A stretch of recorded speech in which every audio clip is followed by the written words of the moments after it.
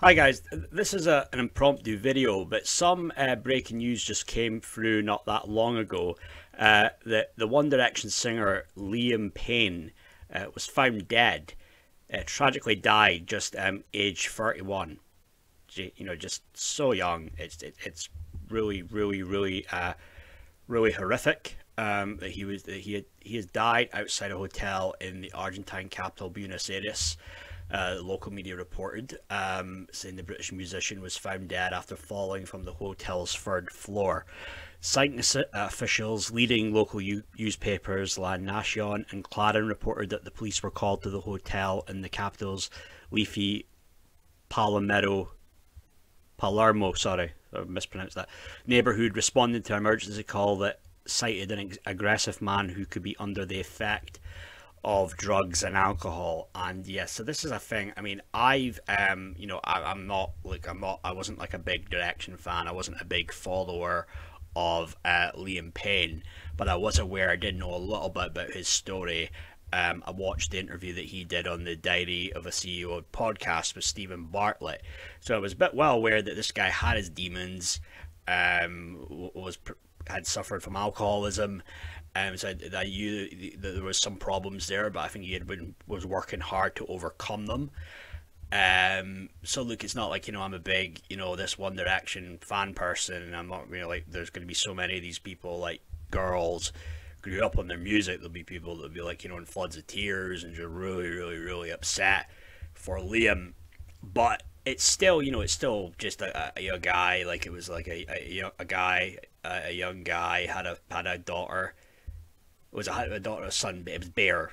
I know. I, I start, yeah, son with with Cheryl Cole, um, and yeah, you know, he leaves them behind. it's uh, yeah, really, really, really uh, sad.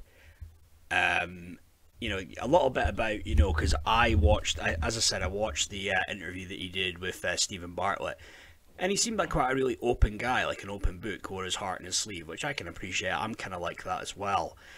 And yes, yeah, so when it was the stuff getting into about you know his issues and the problems there, and with um, you know being an alcoholic, he was going to Alcoholics Anonymous, and um, you know he was kind of telling a story though that you know Russell Brand was big with trying to you know get people to fight addiction, and he's you know battled his I suppose his you know, demons and addictions. There's some other questionable stuff there about Russell Brand, but let's just take it alone that, you know, he's trying to fight and stop ever from, you know, being an alcoholic again, you know, and then he was telling the stories about like alcohol AA meetings that, you know, you know, a big way of like, you know, helping people in a, in a weird way was like Russell Brand's like, you know, doing like stand up comedy and, and get, getting people in, in, in stitches.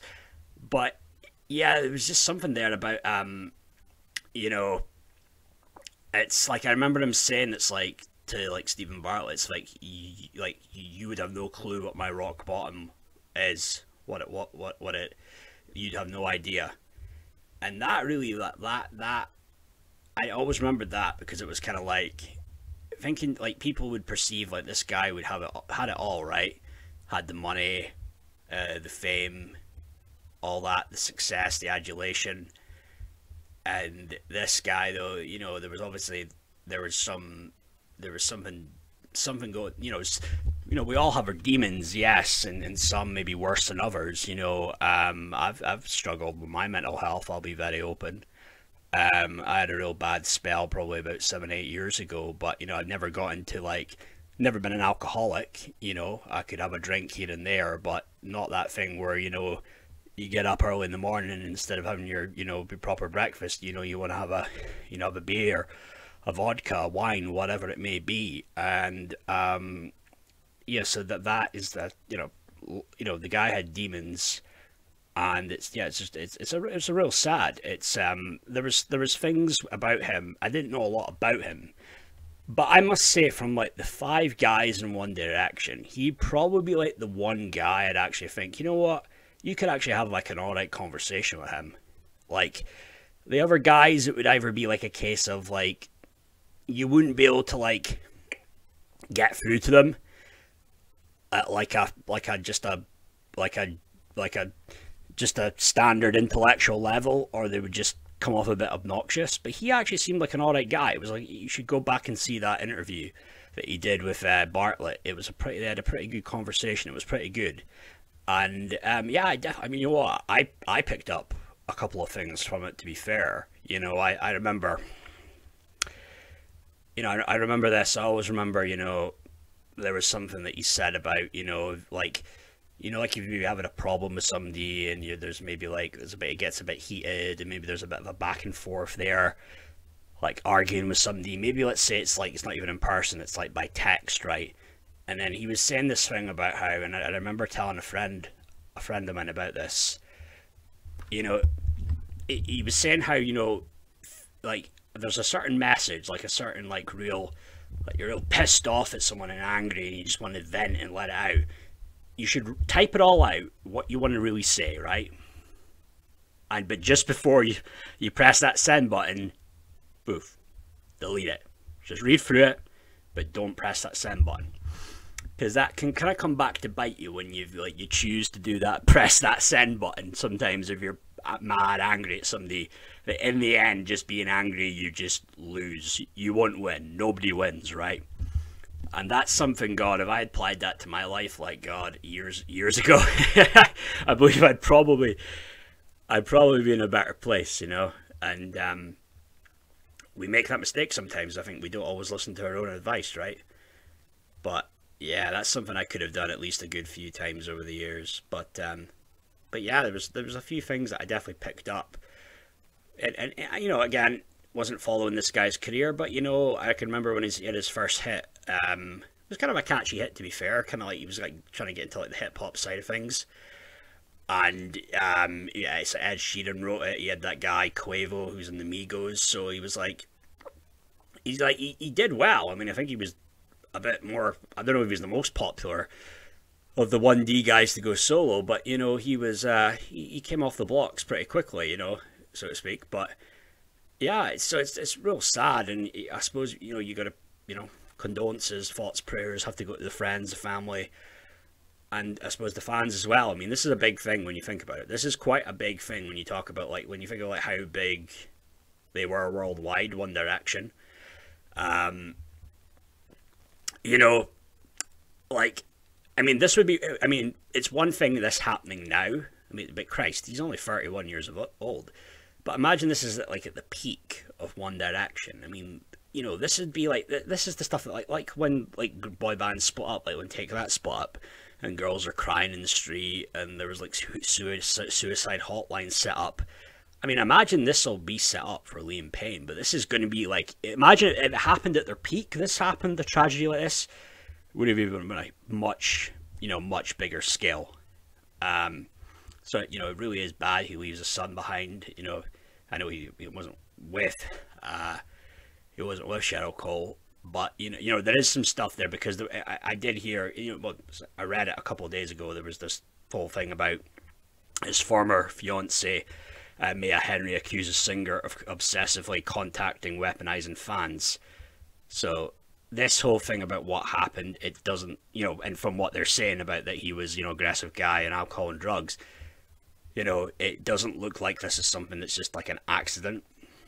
Um, I, again, I don't know. It's it's a it's just with all this stuff, and then there's the timing there of what what coming out with his, his fiance, his former fiance. It's like yeah, so maybe there's going to be some more stuff that come out about this. Um, like yeah, you know, like we have our, we're all in, we're all imperfect, right? We're all imperfect people. We've got our imperfections that kind of like well, they make us who they are, right? And um, you know, so let's say that he was like things fell apart. He was still really very much what to be with her, in love with her. He was chasing her. There was a lot of like messaging, trying to get through to her and people around her. Like, yeah, that can be a little bit. That gets a bit tense and it's not nice. But you know, if you felt, if you really felt that way about the woman you wanted to be with her, like, yeah, it's a, you know, it's a, it's, it's a tough one. That man, you know, it's a tough one, but it's like, yeah, I mean, this stuff coming out about him and then this happening, um because the stuff with his fiance, uh, 7th of October, this is about only, so about nine days later. So the timing of it is a little, you know, it's a little bit suspect. But you know, I get into a lot of this stuff with the, the downside of the music industry and how there's there's a lot of dark forces there. Um, but with this, you know, I don't want to get into all that stuff right for now. I don't want to get into conspiracy theories. Ultimately, like a young guy, it's 31, uh, has, has has passed away. But I I just want to kind of like, in my own way, pay tribute. It's not it's not the like the way that you know people that grew up on them watching One Direction pay tribute. But he seemed to be like an okay guy, like he was a Christian guy, you know.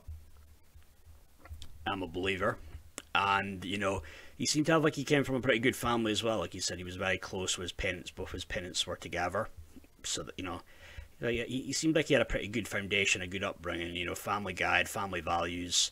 Uh, tried to, from what you hear, would was still you know, kind of like I suppose like a like a Christian, maybe a lapsed one, but still, he seemed like he, he he was not too bad to be fair. That's what I'm going by from what I've seen.